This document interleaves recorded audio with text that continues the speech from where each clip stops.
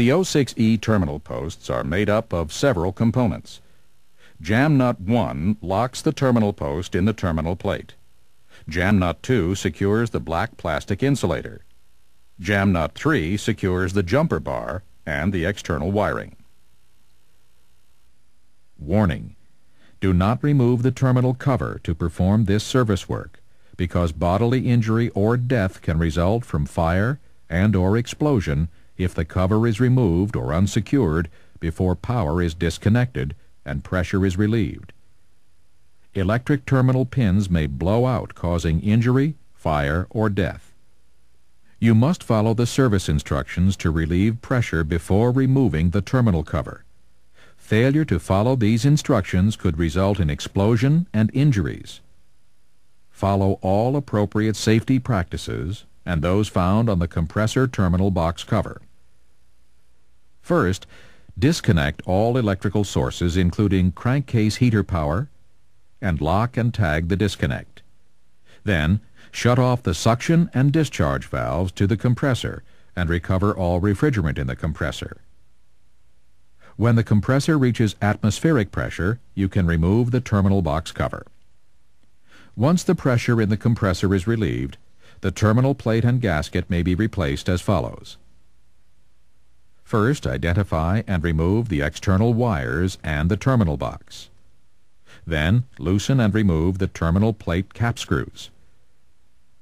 Pull the old terminal plate out from the crankcase and use the replacement terminal plate to identify each terminal post. Note, these are not numbered in consecutive order. To help orient the terminal plate, look for the word top, which is cast into the plate. If the wires are dark or discolored, it's especially important to mark the wires for later identification and positioning in the replacement terminal plate. Loosen the Allen head screws holding the motor leads to the old terminal plate. Remove the old terminal plate. Check the general condition of the wires. Inspect the wires for damage or insulation breakdown. If they appear severely overheated, the motor or compressor may require replacement. Note, O6D motors are very difficult to replace, and replacement motors are not available. Before attaching the wires to their respective terminal posts, clean the old gasket material from the crankcase and install the new gasket. Use guide pins to position and hold the new gasket. The beveled side is up for metal gaskets. Note, metal gaskets do not require oiling. If it's a fiber gasket, first lubricate it lightly with refrigerant oil. Do not soak the gasket in oil. Then identify and insert the wires in their proper terminal posts. Use the Allen wrench to tighten the motor leads to the terminal plate. Torque the screws to proper torque.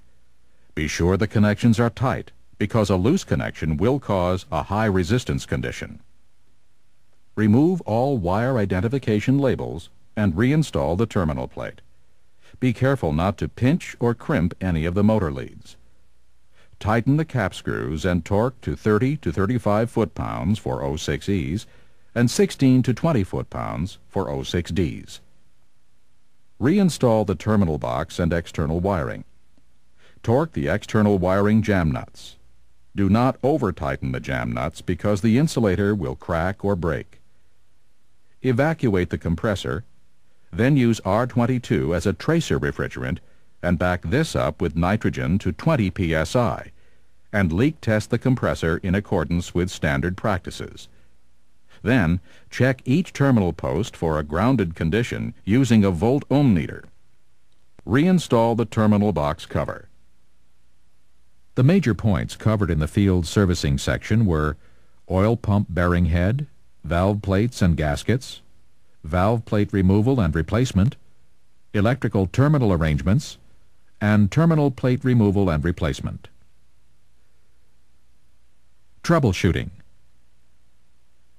Compressors operate best at certain pressure and temperature conditions.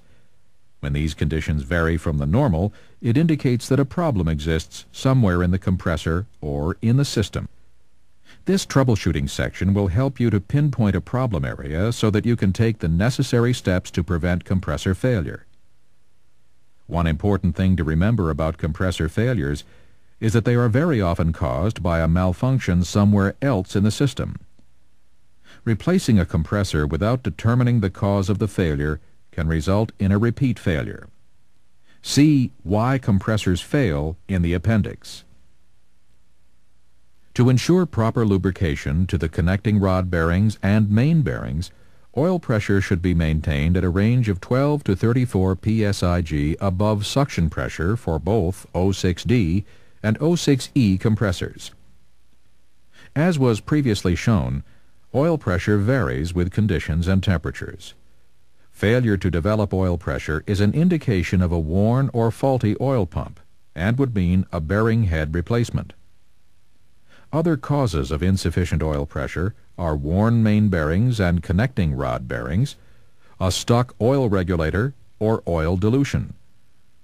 The refrigeration system can also cause oil pressure problems, and these include excessively high operating temperatures, flooded starts, refrigerant floodback, and oil trapping. If the unit you service has an oil pressure safety switch, its function is to protect the compressor against loss of oil and subsequent pressure failure. Switches are set to cut in at 8 to 11 psig and set to cut out at 4 to 8 psig. Two types of oil pressure safety switches are used on O6D and O6E compressors. Either type will shut the compressor down 120 seconds after startup if oil pressure hasn't been developed. Earlier oil pressure safety switches tripped at 45 seconds. The longer trip point, 120 seconds, is recommended for POE applications. An oil safety switch should never be reset more than once without determining the cause of the oil pressure loss. The maximum crankcase temperature for O6D and O6E compressors should not exceed 165 degrees Fahrenheit. Temperature should be measured on the side of the compressor, as shown. Fasten a thermocouple type thermometer below the oil level to achieve a proper reading. High crankcase temperatures could be caused by a number of factors, such as high compression ratios, high return gas temperature, blown gaskets or broken valves, and long periods of compressor operation in an unloaded condition. On O6Es, a leaking pressure relief valve can be a cause. Typical normal operating temperatures for O6D and O6E compressors are oil temperature, fully loaded, 90 to 125 degrees Fahrenheit. Unloaded, 90 to 135 degrees Fahrenheit. Discharge gas, 60 to 100 degrees Fahrenheit above saturated discharge temperature motor barrel temperature, 60 to 105 degrees Fahrenheit. It can be as high as 150 degrees Fahrenheit with O6CC models. Suction gas return temperature for air conditioning duty for the TXV, 15 to 25 degrees Fahrenheit. For the fixed orifice and EXV, 0 to 10 degrees Fahrenheit. Return gas temperature for refrigerant duty is 30 to 50 degrees Fahrenheit. Bottom of cylinder head 80 to 120 degrees Fahrenheit. In our discussion on O6E oil return systems, we noted that proper oil level must be maintained at between 1 8 and 3 eighths of the sight glass. It is important to maintain the proper oil level to avoid possible mechanical problems that will shorten the life of the compressor. Maintaining proper oil levels also prevents excessive amounts of oil from being circulated through the system. The oil level on O6D compressors should be maintained at 1 quarter to 3 quarters of the sight glass. The level should be checked as follows. Older air conditioning duty compressors should be checked immediately after shutdown.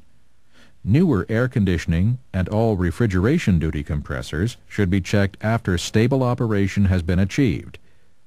Higher than normal oil levels could result in mechanical problems or poor system performance.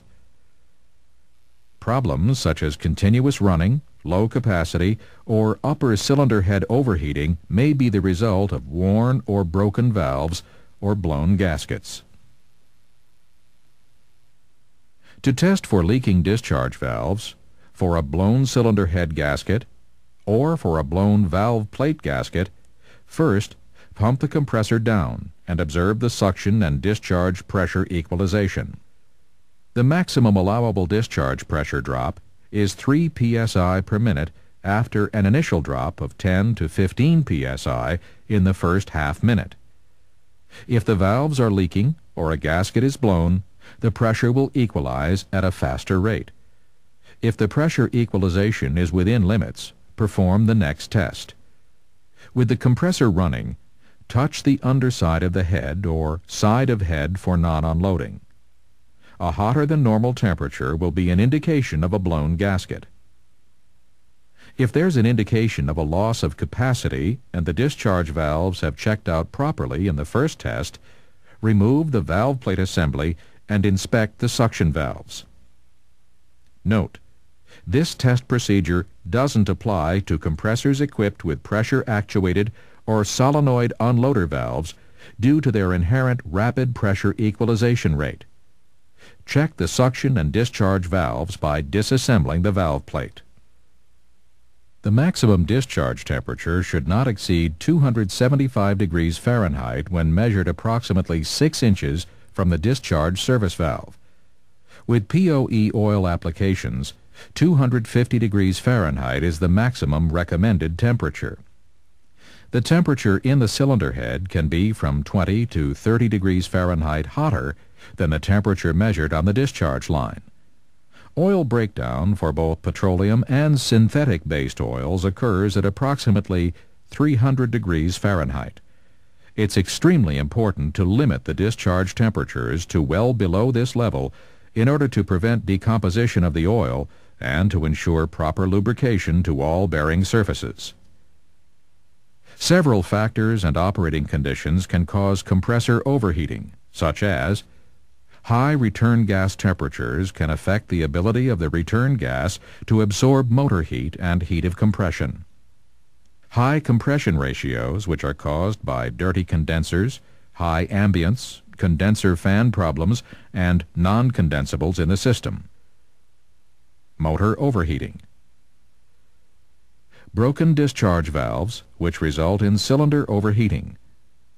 Blown gaskets and leaking relief valves cause hot gas to recirculate back to the suction side. On low temperature refrigeration units, cylinder head cooling fan is not working. The motor barrel temperature on O6D and O6E compressors should generally not exceed 80 to 125 degrees Fahrenheit, depending on application. Note, O6CC compressors may run hotter, Check motor temperatures at the locations shown to ensure a proper measurement. Motor overheating can be caused by current and voltage imbalances, high return gas superheat, improper settings on unloaders and pressure switches, or excess oil in the motor housing. Motor overheating results primarily from voltage and current imbalances. Voltage should not vary more than plus or minus 2%. Current should not vary more than plus or minus 10%. Keep in mind that a voltage imbalance will cause a current imbalance, but a current imbalance does not mean that a voltage imbalance necessarily exists. Mechanical causes for higher motor temperature